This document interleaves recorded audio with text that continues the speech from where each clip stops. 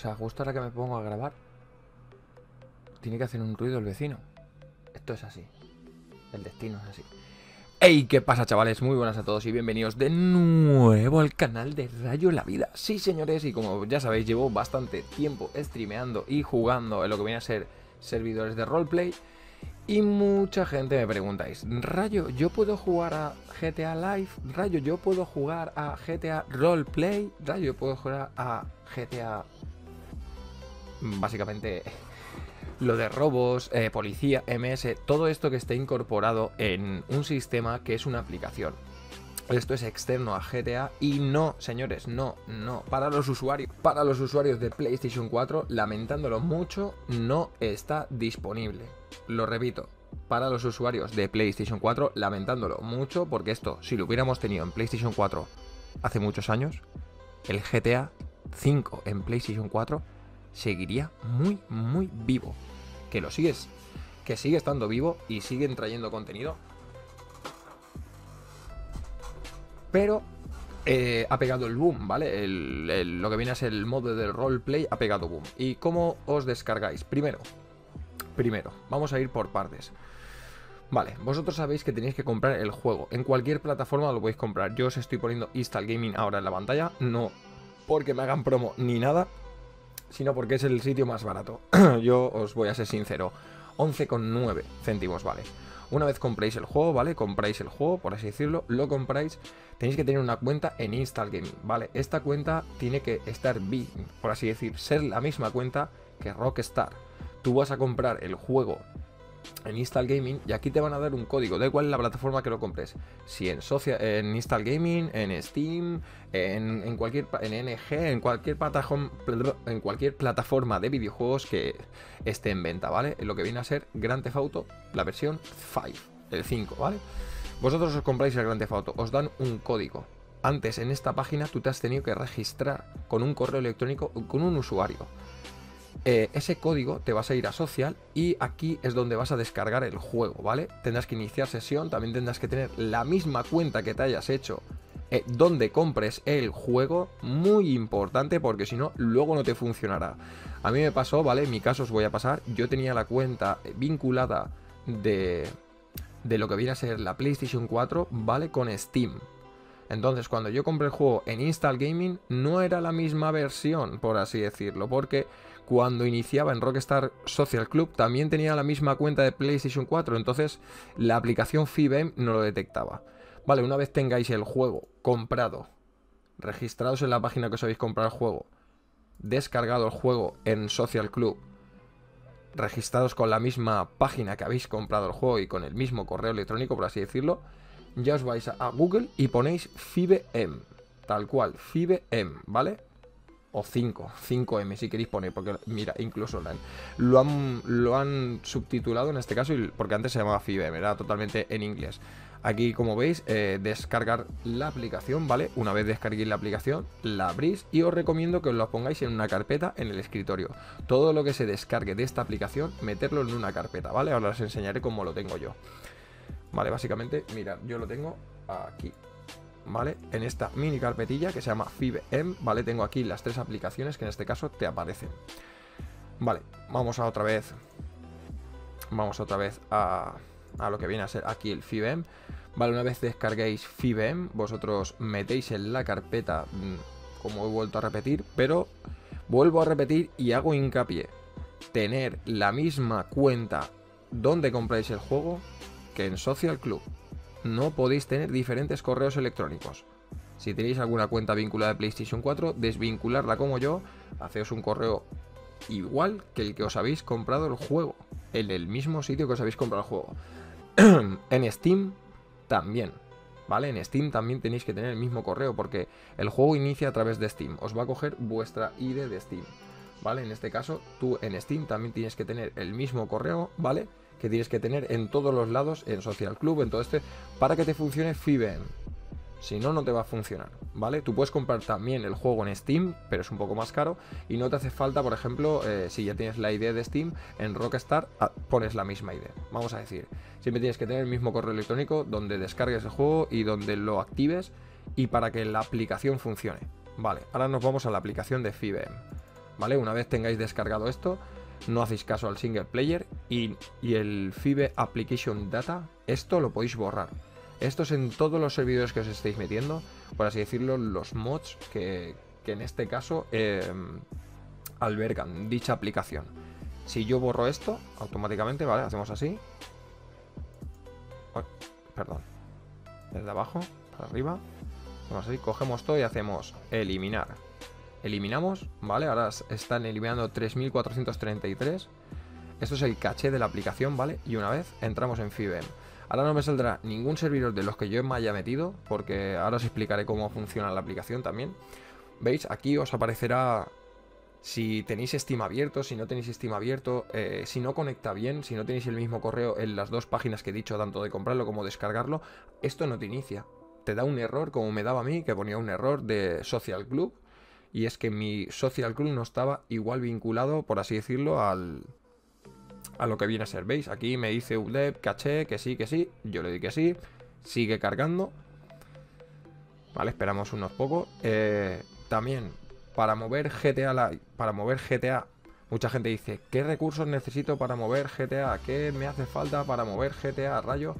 Pues mira, básicamente para mover GTA no te hace falta mucho, ahora os explicaré las especificaciones. Mira, nos venimos aquí y nos venimos a FIBM, dejamos que inicie y nos vamos al GTA a la parte de abajo.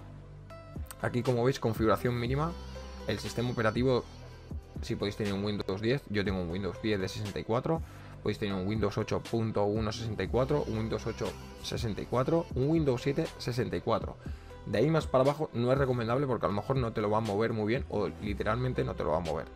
Procesador podéis tener un Intercore 2 Quad CPU de 2,40 GHz o una AMD de 9850 Quad Core procesador 4 CPUs, 2,5 GHz también.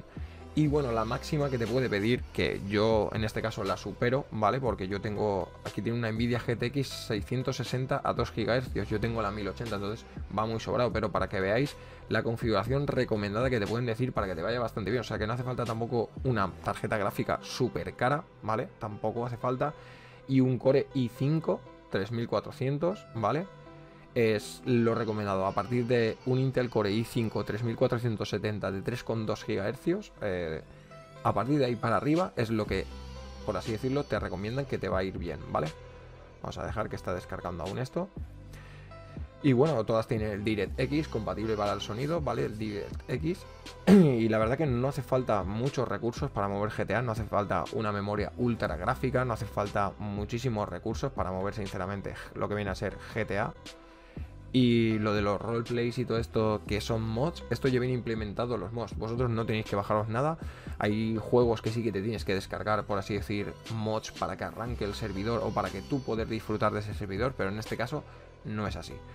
Bueno, he borrado el caché para que veáis cómo, cómo es la primera vez que tú inicias FIBEM, porque todo esto te lo va a hacer la primera vez. Una vez ya tú ya lo tengas instalado, ya veréis, luego lo cierro y lo abro y esto ya no lo vuelve a hacer directamente, se habla a la aplicación y ya me pone el buscador de servidores en el cual yo quiera meterme. Vamos a dejar que cargue un poquito más, que ya está acabando de cargar. La verdad que es bastante rápido, no ocupa mucho, pero vuelvo a repetir, creo que, no lo he dicho. Eh, tenéis que tener despacio de memoria, ¿vale? Em, por aquí lo ponía. Mm, mm. Mm, había un sitio que antes lo he visto que ponía lo, ah, que ocupaba. Aquí, perdón, no lo he leído bien. 72 gigas aviables de espacio tienes que tener, ¿vale? O sea, ocupa 72 gigas lo que viene a ser el.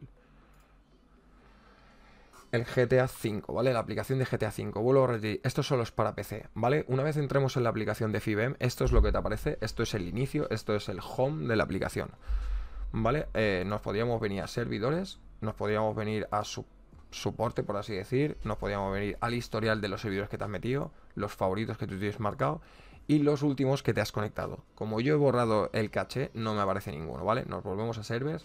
Y como podéis ver, aquí aparecen muchísimos, muchísimos, eh, por así decirlo, mm, vamos a decir, es una separación, ¿vale? Y aquí generalizan, por ejemplo, eh, roleplays, hay 2.228 servidores de roleplay, de policías y 557, de trabajos, de drogas, custom cars, eh, tailandeses, o sea, brasileños, europeos, Portugal, de mafias.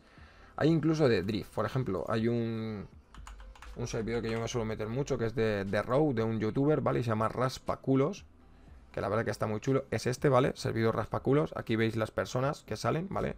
Tú una vez localizas el servidor, tienes que mirar aquí a la derecha las personas que hay y los players que caben. 28 de 32, en este caso es este servidor. Tiene un pi de 44, ¿vale? Van bastante bien los servidores, estos no, no suelen dar mucho pi. ¿Vale? Y hay servidores que, tenéis que diferenciar. Por ejemplo, yo sabéis que yo juego en el plan maestro, ¿vale? Yo pongo plan y ya me aparece. Pero como podéis ver, podéis ver pone whitelist. ¿Qué significa esto de whitelist rayo? Pues que tienes que meterte en el Discord, ¿vale? Tienes que buscar el Discord, que aquí la mayoría de servidores te pone el Discord aquí. Lo único que tú tienes que irte al Discord y buscar. Ahora os enseñaré también el Discord para que veáis normas y todo este tipo de cosas. Cuando entras a un servidor te lo tienes que leer y mayormente te, te tienes que unir al Discord para comprender las normas del servidor, las reglas, todo para no ser baneado y no salirte de las normas, en este caso, y que no te llamen la atención, ¿vale? Bueno, y básicamente aquí ya, como podéis ver, es un buscador y tú puedes poner lo que quieras. Ya os digo, aquí hay servidores de todo tipo, de survival zombie, de conducciones de aviones, de de lo que quieras, pero ahora mismo lo que está de moda es el roleplay, ¿vale? Un servidor donde haya policía, coches reales, MS, sistema de drogas, trabajos, eh, lo que viene a ser un poquito de rol, hablar con la gente, cada uno interpreta un personaje, se crea un personaje dentro del juego. Y bueno, lo vuelvo a repetir, hay servidores que tienen whitelist y otros servidores que no tienen whitelist y tú puedes entrar tranquilamente que no ocurre nada. Que eso la verdad que viene bastante bien. Por ejemplo, vamos a decir que yo estoy jugando en plan maestro, como ya sabéis, me voy a meter en el plan maestro. Ahora hacemos así. Plan maestro. Como veis ahora mismo el plan maestro ya tiene tres servidores abiertos. Este servidor es de pruebas porque están ampliando. Y bueno, podríamos meter en este que hay 59 y en este hay 60. O sea que van a ampliar, van a hacer un tercer servidor porque se están dando cuenta que el servidor casi siempre está lleno. Esto si queréis entrar con amigos también es un inconveniente. Buscar un servidor que por ejemplo haya menos gente y podáis entrar. Los servidores más famosos evidentemente van a tener whitelist, que esto es un filtro, vas a tener que pasar un examen en Discord, ahora lo explicaré, ahora sacaré el Discord y lo veréis. Mirad, hacemos así. Vale, me pongo en el plan maestro. Y vamos a ponernos en las normas. Vale, por ejemplo, aquí yo tengo todos los canales, ¿vale? En este caso de la gente que me habla y todo este tipo de cosas. Y aquí tengo el servidor del plan maestro. Yo me he unido al servidor del plan maestro y siempre, siempre que entréis en un servidor, leeros las normas. Siempre. Más que nada porque si tiene whitelist os van a hacer un examen para poder entrar. Por ejemplo, no está permitido nombres ofensivos, eh, metagaming es el uso de información obtenida mediante eh, lo que escribe la gente, role entornos y las cosas que tenemos interrumpir en el momento, power gaming es realizar acciones que sean ilógicas, imposibles en la vida real, como por ejemplo, yo que sé, atropellar a gente, tú no atropellarías a gente en la vida real. A no sé que estés muy loco. O no cogerías un arma y directamente le dispararías a alguien sin motivos. A no ser que estés muy loco. Pues básicamente esto es lo mismo. Intentas que tengas un, un rol, por así decirlo, y que sigas un, un, patrón, ¿vale? Para que no te salgas y la gente no haga cosas. Eh, por ejemplo, Dead Mass, esto significa que está prohibido atropellar con el coche. Algo que no harías tú en la vida real, vamos a decir. Es un juego, evidentemente hay gente que atropella y hace el mongolo. Pero eso se puede pagar caro y se puede pagar con un baneo. Si no te leen las normas, por ejemplo, zonas seguras, ¿vale? Hay normas zonas seguras para donde no te pueden matar, no te pueden hacer nada. Luego hay mafias, abogados, eh, cómo se pueden hacer los robos, todo aquí te lo explican. Por ejemplo, para realizar un robo en Facebook, cuatro atracadores, cuatro personas en total, máximo subfusiles y apto para todos. Máximo un rehén, no puedes coger ahí muchos rehenes y cuatro policías máximo quieren ir. ¿Esto qué quiere decir? Que por ejemplo al atraco no podrían ir todos los policías que se estuvieran conectados en el servidor, solo tendrían que ir cuatro, y aunque se conectara un quinto nuevo o un sexto nuevo y murieran estos dos, no se pueden incorporar al rol, vamos a decir. ¿Sabes? Habían cuatro, han muerto dos, siguen dos en el rol, pero no, aunque se conecten ya haya más policías conectados en el servidor, no se pueden incorporar al, al robo porque sería fuera de rol y estarían interviniendo en un rol que no es suyo. Más que nada para que el juego sea más entretenido, si no, nos acabaríamos batiendo a tiros y no habría rol directamente. Luego para los MS, normas para los streams, para la gente que quiera streamear, como ya sabéis yo streameo. Y bueno, luego tenemos aquí el chiringuito, eh, ponen varias cosas, el chat general, bienvenidos, Instagram, las bandas, van compartiendo fotos, todo esto sucede en los canales que tú entres. Ya sabéis, yo también estaban amigos del rol, mira, también tengo canal de Pop Life. Todo esto lo consigues a base de servidores como estos, que tú, por ejemplo, te metes en plan maestro y aquí te sale el Discord. Si tú quieres unirte a esta comunidad y a estos roleplays, tienes que hacer esto. O tienes que tener Discord o tienes que tener TeamSpeak. En este caso, otro sistema de comunicación, por así decirlo, otro programa que también yo utilizo básicamente el Discord. Me es más sencillo y más rápido. Y la verdad que, pues eso, yo llevo mucho tiempo jugando ya servidores de roleplay y bueno, os recomiendo que os metáis, busquéis vuestro servidor en el que estéis más cómodos. Sinceramente, primero os recomiendo meteros en un servidor que no tenga whitelist, es mi recomendación jugar y disfrutar, ver cómo se funciona el rol, aprender un poco a rolear, por así decir, porque tienes que aprender a rolear, no es meterte ya a hablar como el más chulo y matar a todo el mundo, ¿no? Tienes que rolear, tienes que caerle bien a la gente, tienes que hacer amigos para poder crear una banda, una mafia o todo tipo este de cosas, o si quieres opositar para ser policía, para ser MS, todo eso requiere un examen para poder superarlo y poder ejercer y cobrar. Tú dentro del juego, si eres policía o eres MS, recibes un salario y si eres civil, puedes coger cualquier trabajo y también recibes un salario. Hay muchos trabajos de taxista, basurero, eh, de correos, em, pelador de pollos, minero.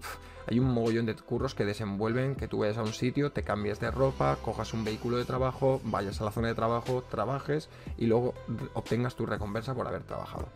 Pues bueno, básicamente os he explicado un poquito todo lo que más o menos yo sé sobre los roleplays, sobre lo que sé de, de esta aplicación de FIBM y bueno, incluso hay veces que me he metido en, servidores, como ya habéis visto en el canal. Si no os habéis visto, pasaros por el canal y darme un like, que no cuesta nada, señores. Últimamente os cuesta mucho darme likes. Bueno, por ejemplo, yo me metí en este servidor que es un survival zombie. Te puedes encontrar con otros jugadores y te puedes matar. Todo el servidor está lleno de zombies.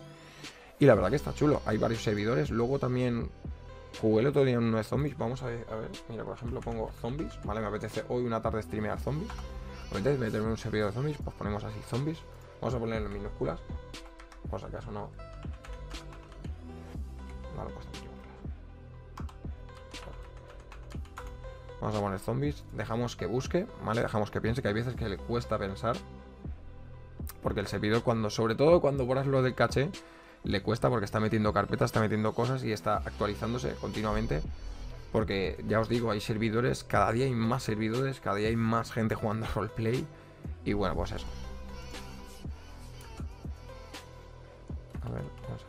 Mira, por ejemplo, aquí, ¿ves? He puesto zombie, no zombies, ¿vale? Zombie. Este es el que jugué yo ayer, que está bastante guau. Está bastante guapo, la verdad. Me gustó mucho. Y tenéis un vídeo en el canal, se llama Zombie Killer Game. Y es un PvE porque no te puedes matar con otros jugadores, pero obtienes muchísimas recompensas en matando zombies.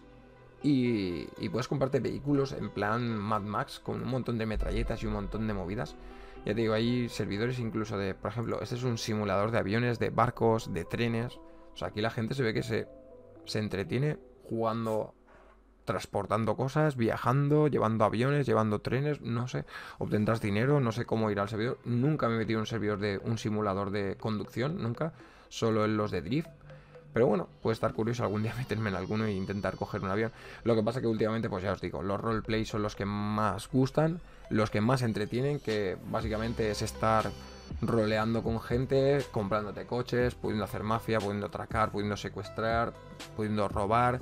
Yo te digo, hacen fiestas en discotecas, hacen batalla de gallos, organizan carreras ilegales de coches, o sea, hacen un montón de cosas que la verdad que te entretiene mucho y te es otra vida dentro de este, de este GTA que le ha dado muchísimo tirón, en este caso ya la versión de PC. Pues nada, señores, espero que os haya gustado. Dadme un pedazo de like por este pedazo de vídeo que os he hecho un poquito así resumido para mí lo que es la aplicación de FIBM y cómo funcionan estos servidores de roleplay, que la verdad que están muy chulos. Dedicar tiempo, leeros las normas, muy importante, siempre leeros las normas antes de entrar a un servidor. Y nada, dejadme un pedazo de like para más vídeos como este si os gusta y para que siga streameando, la verdad, porque a mí me encanta streamear lo que viene a ser el plan maestro, que en breve voy a streamear en Twitch, abajo tenéis el canal en la descripción y nos vemos en el siguiente vídeo. Se despide Radito. Chao.